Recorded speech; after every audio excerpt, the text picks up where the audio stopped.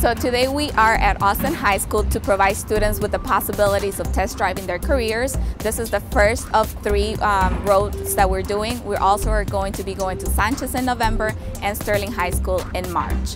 The purpose of the career test drives is for students to learn about different career pathways because unfortunately about 78% of the students in this area do not have post-secondary plans. Um, they believe that they don't have the, you know, the capacity to go to college, so we want to expose students to the different areas that they can uh, achieve. BridgeYear is a nonprofit here in Houston that takes a new approach to career exploration. We do hands-on career test drive modules so students can really see themselves in different careers that they can get with a one or two year degree. We're really trying to spread that message that four years is not the only path to success. Capital IDEA uh, Houston is a nonprofit organization with the mission of living, lifting families out of poverty through educational services.